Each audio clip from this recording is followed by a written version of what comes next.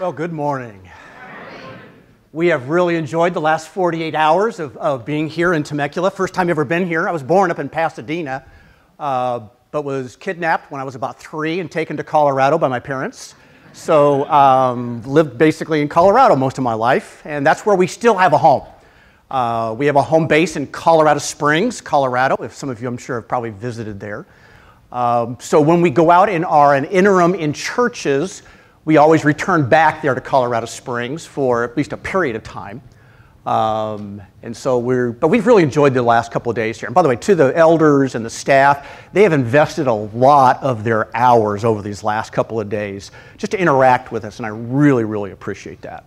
Um, it's been a really good time to engage with them, to learn about the church, and just to laugh and have some good time together. So, uh, Lucy and I have, by the way, let me just introduce you. Lucy, I want you to stand for a moment just so you can put a name and a face together. Lucy's right over here, my, my better half, so. Yeah. Couldn't do, couldn't do this without her. I couldn't do this without her. Um, been a pastor after graduating from Dallas Seminary um, since 1980 and uh, enjoyed a number of wonderful uh, pastoral experiences and then about six years ago, God changed the trajectory of our ministry from that of being a permanent senior pastor in churches to being an interim. Uh, and like Brad said just a moment ago, uh, we come alongside churches and you know, you never know how long it's going to be, but typically it can be a year, 18 months. Some situations it goes as long as two years. Um, to help the church prepare for a new season of Christ honoring ministry. And if this is what the Lord has for us to come and link arms with you all, uh, that could be really an exciting thing. And literally, uh, that interim season that we would be about with you would be, could be, some of the most exciting times in the life of this church. And so we'll see what God has, but be praying, would you please? Be, be praying and asking God, what do you want? And that's what we're praying to, that God will just reveal that. So. Well, I hope you have your Bibles. If you don't, grab the Pew Bible in front of you. But before we jump into God's Word together, let me just pray one more time um, before we nose around in what God has for us this morning. So, will you join me in prayer, please?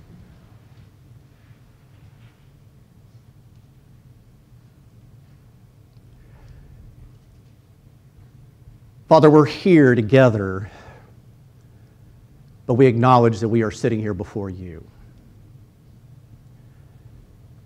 We're not here by accident, even though maybe some of us this morning,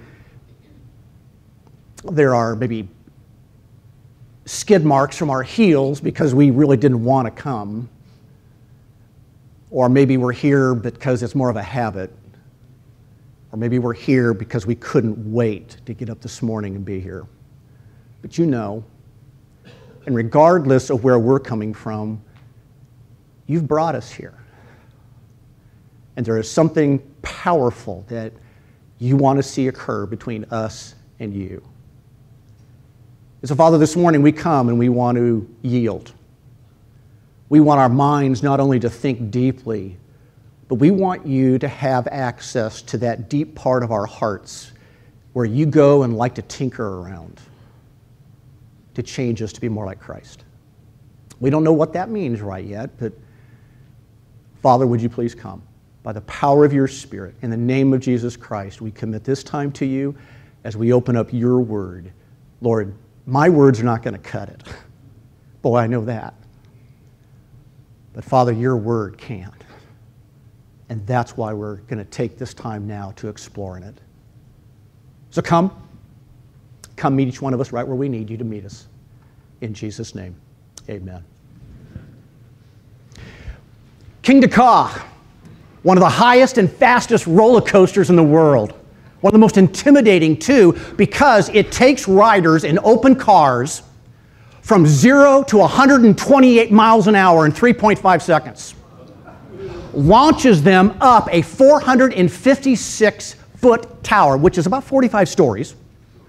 And then, pausing briefly at the top, there is a vertical descent where the riders are spun 270 degrees in a spin coming out of the bottom into an extended airtime heel that leaves you in zero gravity for a number of seconds. Now, I don't know whether or not you would consider a ride on Kingda Ka an enjoyable experience, or whether some of you would say that would be one of the most foolhardy things you, I could ever do with my life. But don't miss the powerful analogy. For the type of Christianity, unfortunately, that is seen around America these days, is a watered down domestic version of the original. I mean, even a quick read of the book of Acts, the, the first generation of the followers of Jesus Christ, revealed that there was nothing tame, there was nothing safe about being a follower at Jesus Christ. And more often than not, at critical junctures, it was a white knuckle ride for them. Hunter Thompson when he was alive was never ever accused of ever having a biblical worldview. But he said something really on target when he made the following observation. He said, Life should not be a journey to the grave with the intention of arriving safely in a pretty and well preserved body. Rather, skid in broadside in a cloud of smoke, thoroughly used up, totally worn out, and loudly proclaiming, Wow, what a ride.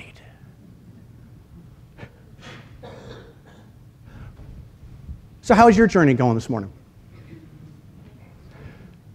How is the story that Jesus Christ is calling you fo- to follow Him about? Does it have its Kingda Ka moments?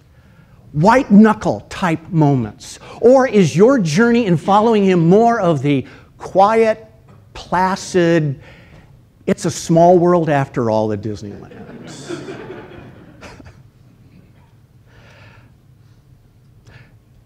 Told you to grab your Bibles, please do.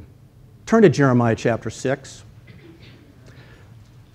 Jeremiah chapter 6, because what we're going to see this morning is that the picture of life as a journey going down a road is a repeated image all throughout the scriptures, Old Testament and New Testament. We'll see some of them this morning.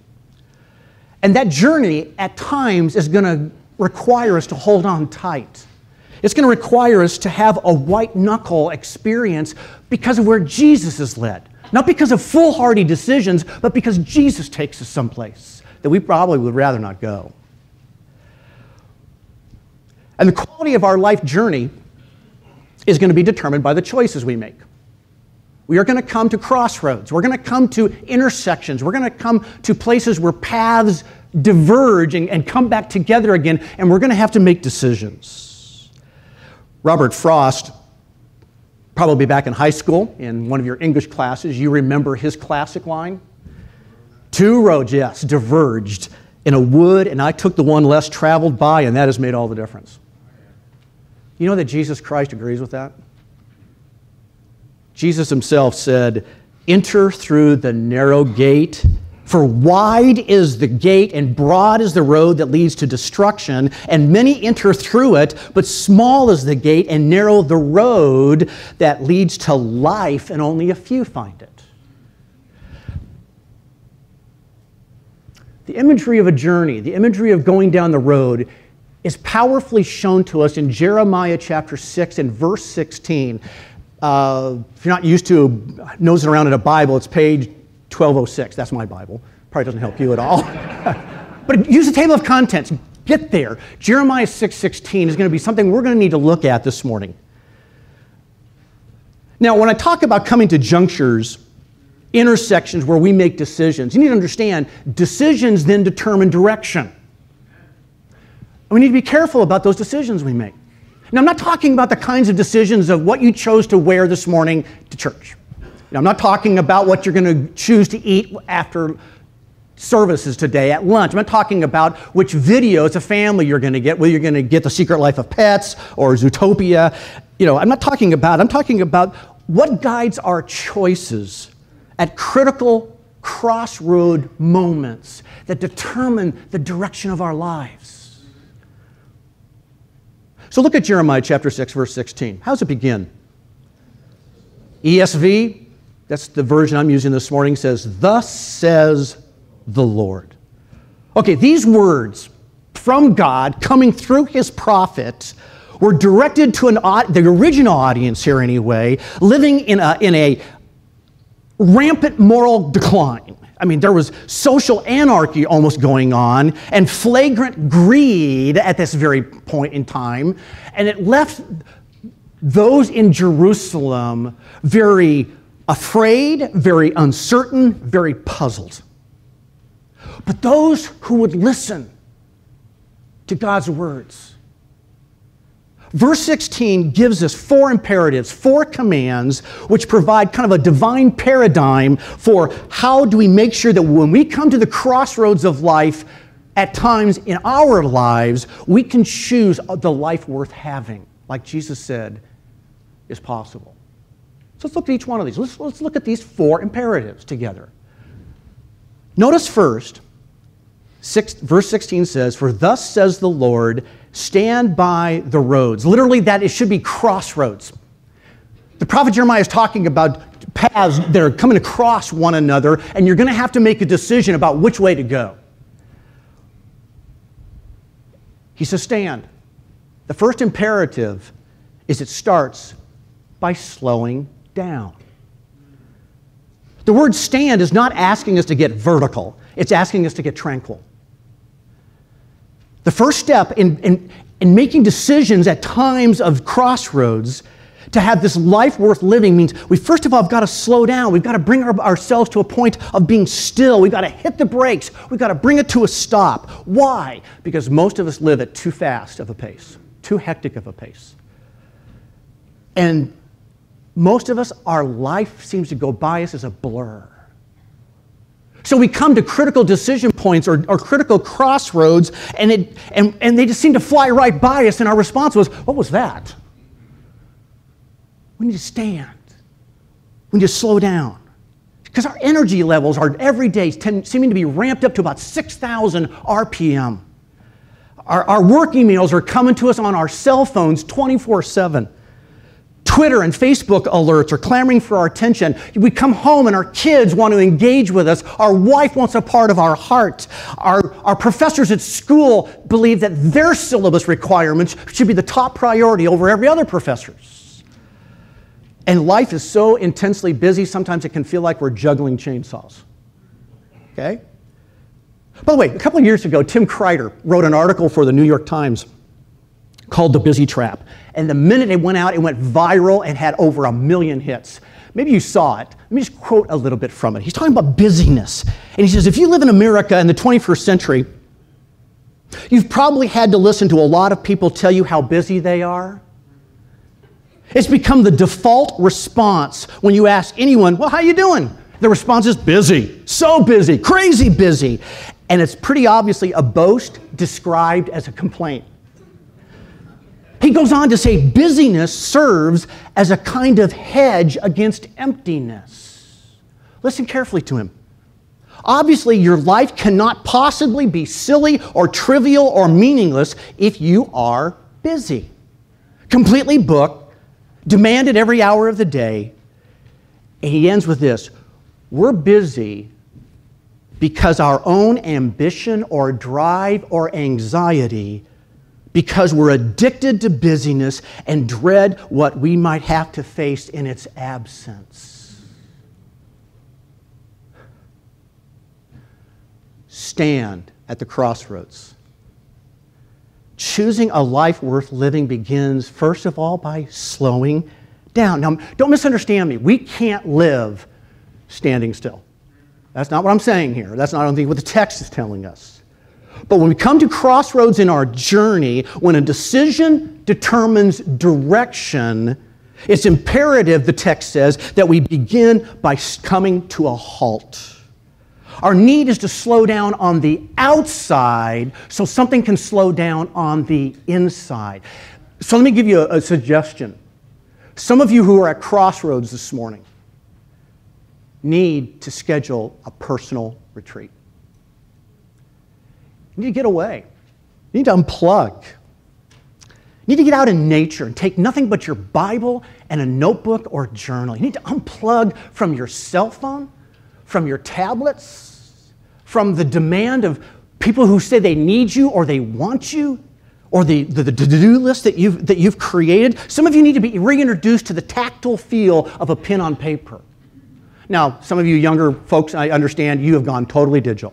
Fine, then hit the airplane button. but let me give you a warning. Getting away to slow down will be a very difficult thing for most all of you to do. Me too. It's not getting there, it's once you're there. Because our mind will start racing about all the things that we should be doing, all the people that we need to contact, all the next steps that we ought to be taking, all the urgent matters that need you, and the quietness will be very unnerving. So you got to keep asking the Lord, slow me down. Slow me down, Lord.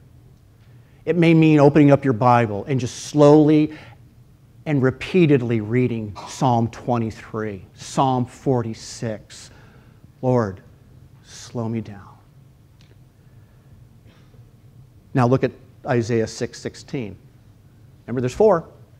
It begins by slowing down, and then it's next is stand by the crossroads and what's the next word? Look.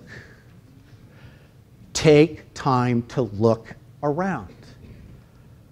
Now, just because we have eyes doesn't mean we see. I mean, Jesus often challenged the crowds of his day around him, even his own men, that they had eyes, but they were not really seeing. So the word look here is really not talking about physical sight as much as it's talking about the, the, the, ability to have perception or discernment or becoming aware or to consider something carefully or to be inspect something or to, again, discernment is really what that word's talking about. And by the way, did you notice how the first imperative then helps us do the second? Stand and then look around. It takes standing still in order to become thoughtfully aware of the crossroad that's in front of us. So, to stand at the crossroad and really look is to consider carefully the nature of the decision that we're looking at. Crossroads demand that, that a choice be made, but do I really understand what's happening around me? Have I slowed down enough to really understand what's going on out here around me? So to look is to be discerning of the, of the options, is to consider that with every option there are going to be consequences. What's going on around me? But to look is also to understand carefully what's happening in me. Because the crossroads is not just what's around out here, I'm also responding on the inside to that crossroads in some way. So, what, what influences are exerting pressure uh, on each decision that's possibly in front of me? Because there may be more than one. There may be several possible options in front of you. So, what are the pressures behind each one? See, for some of you here this morning, the crossroads that you're facing, extended families putting, exerting a lot of pressure on you. Could be your finances, are exerting a lot of pressure on you?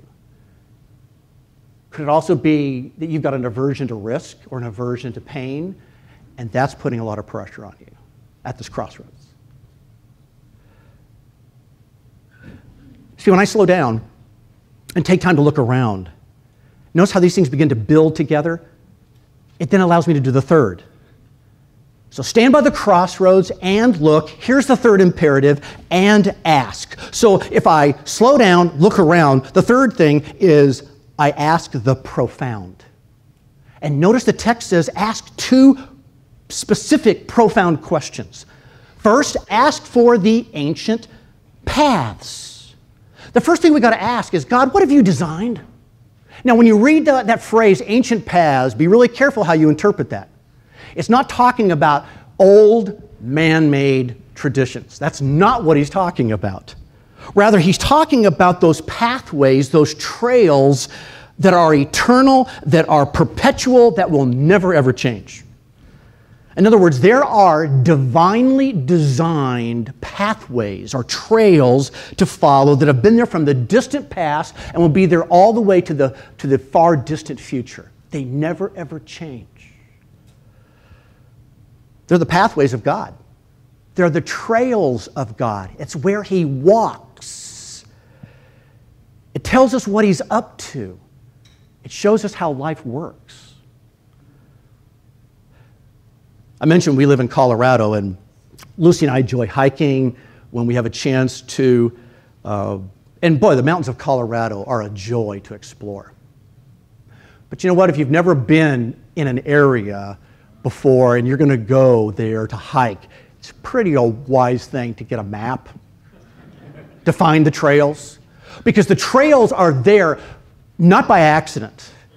They've been purposely put there because that is the safe way to enter into that wilderness area, to get through it, and to come back out. And it's when people don't follow the trails is when a rescue is going to happen. Do you know that King David asked for God's map? Hold your finger here in Jeremiah 6. We'll be back. Turn back, if you would, into the Psalms to Psalm 25. I made a comment earlier that this imagery of life as a journey, life as a pathway that we're following, is all throughout Scripture. Here's one of the great ones Psalm 25. Let me just point out a couple verses here. Uh, start at verse 4. David says, Make me know your ways, O Lord. Teach me your paths. See, David is saying, God, give me the map you've got. Show me these ancient paths that never change. I've got to have them. Drop down, if you would, to verse 8. Good and upright is the Lord. Therefore, he instructs sinners in the way. Verse 9, he leads the humble as what is right and teaches the humble his way. See, we're talking about God's trails, God's pathways. David says, Lord, I, I need a map here.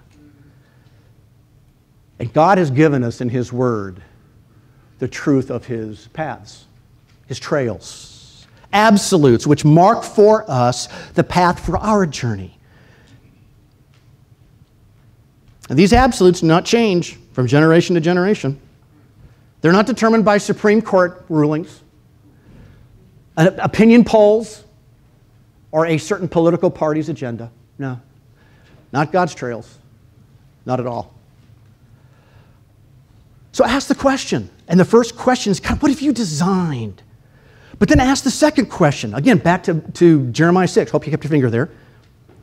So not only ask for the ancient paths, but ask where the good way is. There's the se- excuse me, there's the second profound question.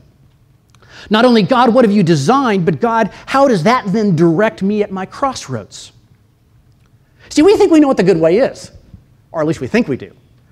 Because um, we typically often define good by what's most profitable for me, what is most pain free for me, what will give me that coveted promotion, what is most prudent, what will keep me most protected. And so we can say, oh, yeah, I know the way, I know the trail, I know the good way. And yet sometimes we blow by the warning in Proverbs 14 12 that says, there is a way which seems right to a man, but its end is the way of death. So so, what is the good God is doing in this generation? Well, the Bible describes the trails he's walking and the invitation that he's given to us to join him going down those paths. He's building his church. He's expanding his kingdom against the darkness. He's seeking to have the good news of this life changing power of Jesus Christ penetrate every single heart and every single culture all around the globe. Those are the paths of God. And those are the paths of God that then come and impact my choices at my crossroads about where I go to. So ask that second question boldly, courageously to God and say, Lord, so how does this decision at my crossroads allow me to be a part of what you are doing right here, right now in this generation? Folks, that's the powerful white knuckle kind of questions to ask. Okay, so have you hung in there with me so far? You're getting a little quiet on me, that always makes me nervous. Okay, so where have we gone so far? Are we going to slow down? Are we going to look around? Are we going to ask the profound? And then, folks, what happens next is where it gets really exciting.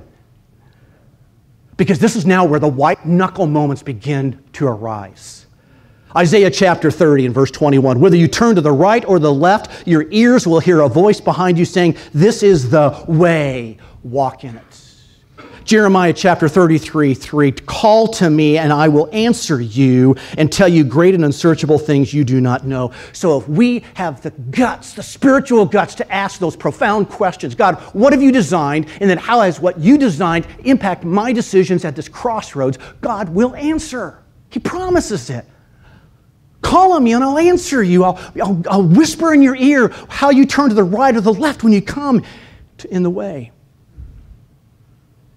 So here's number four. Look at the text again. Stand by the crossroads and look. Ask for the ancient paths where the good way is, and what's the next word? Walk in it. Walk what we've found. Okay, here's the critical point. Here's the critical point. Many who claim to be followers of Jesus Christ have no problem with the first three imperatives. Why? Because it's all mental gymnastics. But the fourth one is when it's time to get into the open car, sit down, strap in, and hang on. Because to walk is to live out what we've been told. See, walking again indicates our direction. And our choices, you all know, even the hidden ones that nobody else knows we've made, do reveal themselves in our lifestyle. It does reveal itself in our walk. And walking is a synonym of that dirty, horrible O word obedience. Now, if you don't hear anything else this morning, hear this. Crossroads always bring us to a point and choice of obedience. Always. Count on it. Take that one to the bank. Our crossroads will always be a place where we have to make a decision of faith that will then be visibly obvious in our behavior. Always. Always. So I look at a passage like this, and I'm sitting in Chick fil A, and I don't like it. Not Chick fil A, the passage. Because it makes me ask, Rick, am I committed to following the Lord's lead?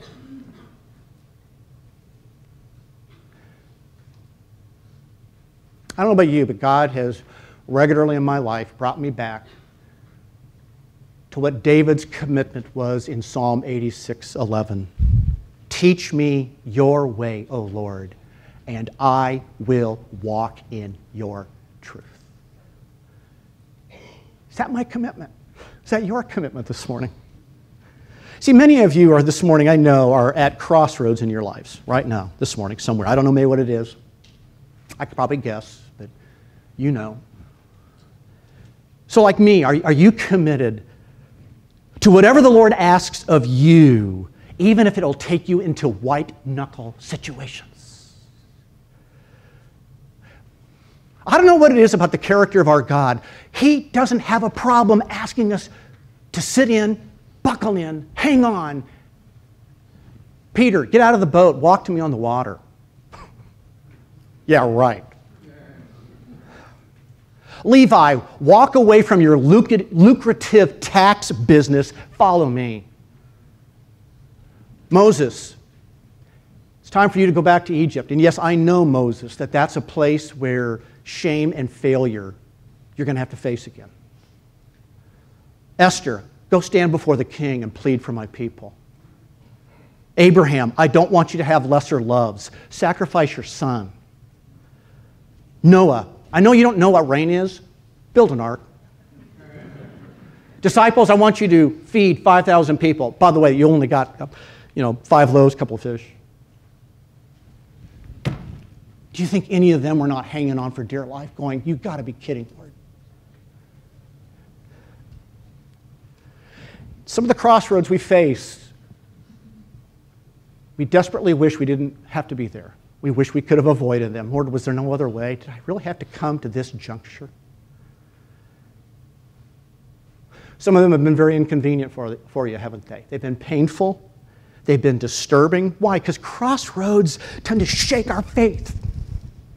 It rattles our comfortable categories. Sometimes it will confront our prejudices. and to walk in it, Jeremiah 6:16 demands an expression of white knuckle faith that we may never ever have given before. And we're being asked to trust at a whole new level the heart of our God and His leading in our lives. Now back to the text. What will be the outcome of slowing down, looking around, asking the profound, and walking what we found? What's the next phrase? And find rest for your souls. Now, notice something. He is not promising everything is going to work out fine as you follow him in this crossroads and where he leads you. What he's promising is the more powerful rest in here. Everything out here may seem to be coming apart. What's happening inside? At the soul, at the heart level, we can be at rest. And you know what I find fascinating? Is that this is what Jesus quotes in Matthew chapter 11. Starting at verse 28, come to me, all you who are labor or who labor and are heavy laden, and I will give you rest. Take my yoke upon me and learn from me, for I am gentle and lowly at heart. And here's the quote from Jeremiah 6:16, and you will find rest for your souls. Direct quote from it. So this Old Testament gem buried here in Jeremiah chapter 6 finds wonderful fulfillment in the person and work of Jesus Christ because he and he alone is the one who can help us slow down, look around, ask the profound, and walk what we found because he is there at the crossroads with us. We're not alone, he's there.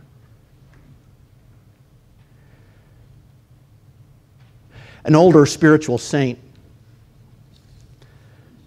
told a friend who was at a crossroad and weighing a direction determining, determining kind of decision.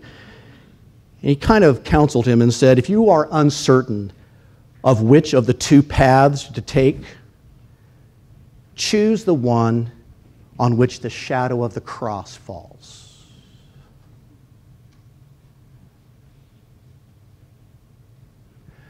Slow down. Look around. Ask the profound. Walk what you found. As Jesus leads me, you, in white knuckle situations for his name's sake. Let's pray. And before we pray, I'm going to do something that I don't I have no idea whether it's done here or not. I guess it doesn't matter. We're going to do it anyway. Some of you are at major crossroads right now, and I want the privilege to pray over you. It may be something about the last five months in this church. It may be something that nobody else knows, not even your spouse or your mom or dad. But you are at a decision point because the crossroads are there. That's where you are this morning and you would like a special prayer, I would like to have you stand right now. I don't care what people around you think. I want you to stand right now because I want to pray over you because of the crossroads you're at. Go ahead, just stand. Let me pray. Father, I want to thank you that in our weakness you are strong. I want to thank you that there isn't anything we can tell you this morning that you don't already know.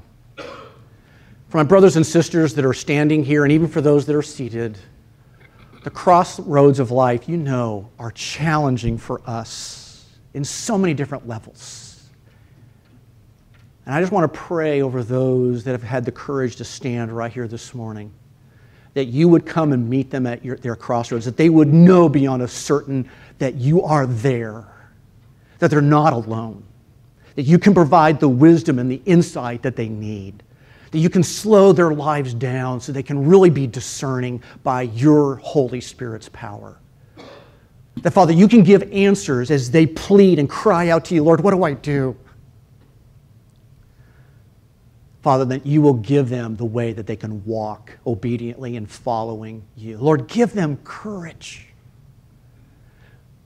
to not care what other people think but that your purposes and your applause is what's most important. Father, thank you.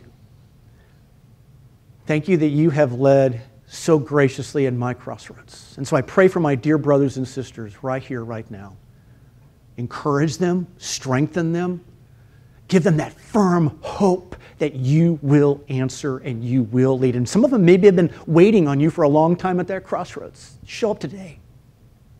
Give them that conviction, the promises from your word that they can hang on to day by day, and then follow you obediently as you lead.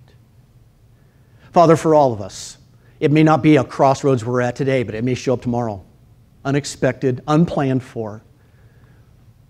But thank you that we have the confidence that you will be there to greet us as we come. And that we can hold on to Jeremiah 6:16, even if it means a white knuckle experience. So, Father, thank you for your word. Thank you for the encouragement, the challenge of it. Thank you for what you're now going to do in our lives as we now go live this out Monday to Saturday, where it really matters. Father, may you get the glory from it. In Jesus' wonderful name, amen.